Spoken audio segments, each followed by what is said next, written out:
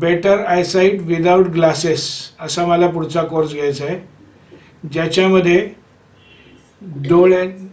ये जो मैं कोर्स लेने वाला हूँ, अगला course better eyesight without glasses उसके बारे में मैं थोड़ा बताता हूँ. आप 1970 में मेरे आँख में रेटिना के ऊपर ब्लड हिमरेज हो गया था ब्लड क्लॉट हो गया था, और मुझे बहुत सर दर्द होता था।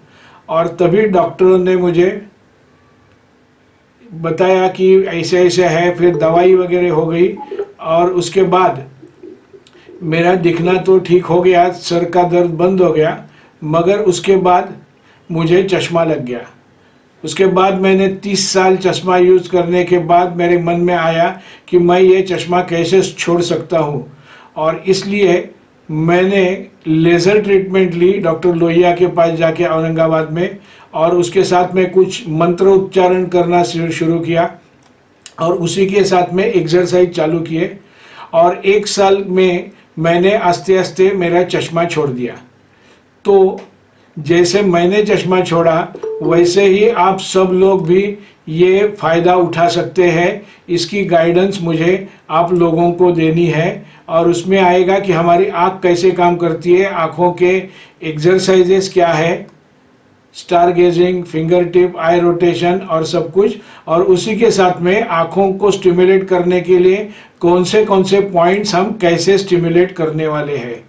ये आँख के नज़दीक के पॉइंट है डेंजरस पॉइंट बोले जाते हैं। ये भी कैसे स्टिमुलेट करना है? आँखों के पीछे के बाजू में सर के पीछे के पॉइंट्स है और पाँव के ऊपर के पॉइंट्स है और उसके साथ में ये हाथ का पॉइंट है और पाँव में एक पॉइंट है। ऐसे सब पॉइंट्स लेके हम कैसे अपनी दृष्टि सुधार सकते हैं, ये मुझे आप लोगों को सिखाना है। और, जैसे मैंने ये चश्मा का छोड़ दिया।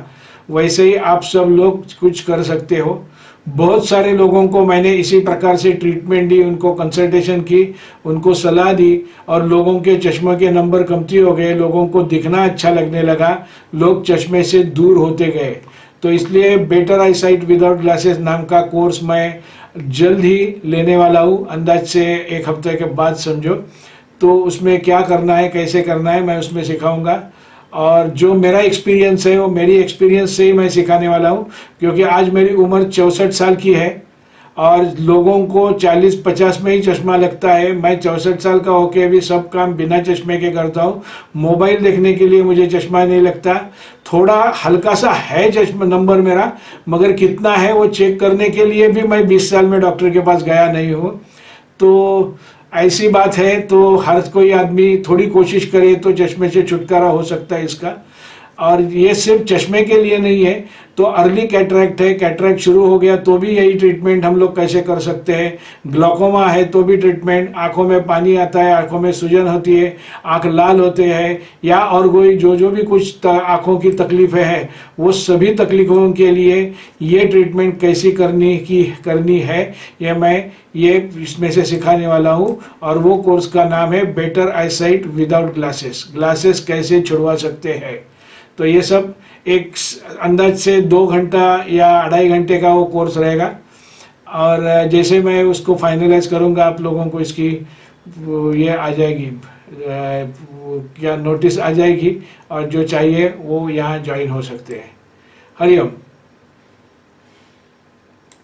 चाहता हूँ मैं एक बेटर आईसाइट विदाउट ग्लासेस का कोर्स करूँ। मेरी उम्र चौसठ साल की है और मैं पिछले 20 साल से चश्मा नहीं वापर रहा हूँ।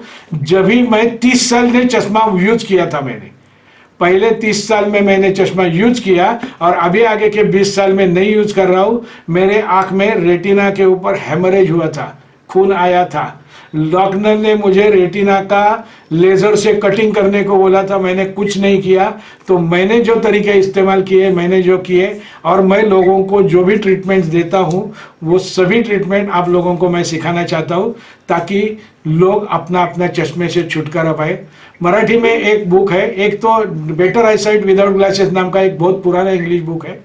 दूसरा एक मराठी में बुक है आप चाहिए तो आप वो भी ढूंढ लो जिसका नाम है फेकून द्या तो चष्मा फेक आणि हा जो माणूस आहे त्यांचं मला नाव आठवत नाही आहे हल्ली जरा म्हातारा झालो आहे मी पण नाव आठवत नाही आहे मला पण त्यांच्या बा- बाळकृष्ण काहीतरी नाव आहे त्यांचं पहिलं नाव बाळकृष्ण आठवेल मला. तो माणूस स्वतः एम एस आहे सर्जन आहे आणि हा माणूस हिंदू कॉलनीमध्ये कुठेतरी हिंदू कॉलनीमध्ये पहाटेच्या वेळेला चष्मा सोडण्याचे क्लासेस घेतो.